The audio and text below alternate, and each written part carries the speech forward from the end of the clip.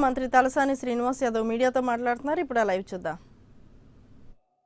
దగ్గర దగ్గర ఒకప్పుడు మన రాష్ట్రంలో సమైక్య రాష్ట్రంలో దగ్గర దగ్గర ఒక కోటి యాభై లక్షల వరకు షేప్ ఉండే. తెలంగాణ రాష్ట్రం ఏర్పడిన తర్వాత డెబ్బై ఐదు నుంచి ఎనభై లక్షలే ఉండే.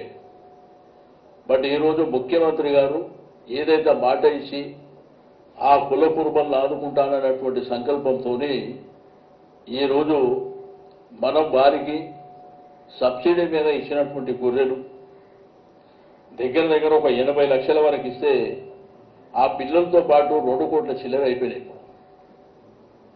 ఇది దేశంలోనే ఒక నంబర్ వన్ కార్యక్రమం కింద ఈరోజు ఆ కుటుంబాలు కూడా ఎంతో సంతోషపడుతున్నాయి. ఇంకా బ్యాలెన్స్ ఉంది ఇంకా వెయ్యాలి. కొంతమంది డీటెయిల్ కట్టిండ్రు డీటెయిల్ కట్టని వాళ్ళు ఉన్నారు. వాళ్ళు అపోహ పడుతుండ్రు మాకు వస్తుందా రాదా? హండ్రెడ్ పర్సెంట్ అందరికి వస్తాయి. కొంత టెక్నికల్ రీజన్స్ వల్ల కొంత క్లైమేట్ కండిషన్ వల్ల కొన్ని ఇబ్బందుల వల్ల అది ఇంకా స్టార్ట్ చేయలేకపోయినాం. వీలైనంత తొందరలో ఫస్ట్ ఫేసు మాకు ఏడు లక్షల చిల్లర అంటే ఏడు లక్షల అరవై రెండు వేల వరకు దాంట్లో మెంబర్స్ ఉన్నారు. ఎన్రోల్మెంట్ అయిన వాళ్ళు. దగ్గర దగ్గర మూడున్నర లక్షల వరకు మనం ఫిఫ్టీ పర్సెంట్ వరకు వాళ్ళకి ఆల్రెడీ ఇచ్చాం. రిమైనింగ్ ఫిఫ్టీ పర్సెంట్ ఇవ్వాలి. డెఫినెట్గా అన్న మాట ప్రకారం ఆ కార్యక్రమానికి మరి శ్రీకారం చుట్టడం జరుగుతుంది. అయితే దీంట్లో ఏంటంటే ఎంప్లాయ్మెంట్ కానీ సెల్ఫ్ ఎంప్లాయ్మెంట్ కానీ కొన్ని లక్షల సంఖ్యలో వచ్చినాయి. ఈరోజు ఫిషరీస్ కానీ యానిమల్ డైరీలో గతంలో ఉన్నటువంటి వేకెన్సీస్ అన్నీ ఫులప్ చేయడం జరిగింది. మా ముఖ్యమంత్రి గారు మేము చెప్పిన వెంటనే ఆ వేకెన్సీస్కి అన్నీ శ్రీకారం చుట్టాయి.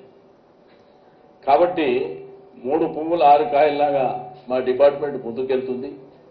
ఈరోజు పోటీ ప్రపంచంలో మరి మా డిపార్ట్మెంట్ సత్తా ఏందో ఈరోజు సమాజంలో ఉన్నటువంటి. కాబట్టి అందుకే గవర్నమెంట్ ఆఫ్ ఇండియా కూడా చాలా సందర్భాలలో మరి మమ్మల్ని అప్రిషియేట్ చేయడం. సెంట్రల్ మినిస్టర్ గారు హైదరాబాద్కి వచ్చినప్పుడు కూడా ఇక్కడ మనం ప్రజెంటేషన్ చేసిన తర్వాత ఆల్ ఓవర్ ఇండియాలో కూడా ఆయన తిరుగుకుంటూ చెప్తుండ్రు ఎవరన్నా చే- నేర్చుకోవాలనుకుంటే తెలుసుకోవాలనుకుంటే చూడాలనుకుంటే తెలంగాణ పొమ్మండి బట్ అంత మంచి బ్రహ్మాండమైనటువంటి రిజల్ట్స్ వస్తున్నాయి. ఇంకా రాబో కాలంలో కూడా ఇంకా బ్రహ్మాండంగా రిజల్ట్స్ వస్తాయి.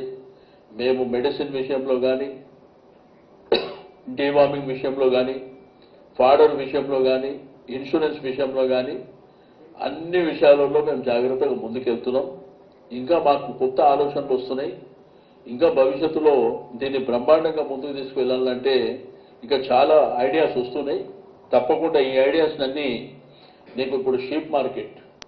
షీప్ మార్కెట్లు ఏంటంటే ఒకటి మన మంత్రి వనపర్తిలో నిరంజన్ రెడ్డి గారు ఖమ్మంలో మంత్రి గారు అజయ్ గారు వాళ్ళ యొక్క నియోజకవర్గాలలో ఐదు ఎకరాలు ఐదు ఎకరాల స్థలం షీప్ మార్కెట్ల కోసం ఇచ్చిండ్రు ఈరోజు ఇరవై ఐదు లక్షలు ఇరవై ఐదు లక్షలు షీప్ ఫెడరేషన్ ద్వారా ఆ రెండు ప్రాంతాలకు కూడా రిలీజ్ చేస్తున్నామని చెప్పి నేను ఈ సందర్భంగా తెలియజేస్తున్నాను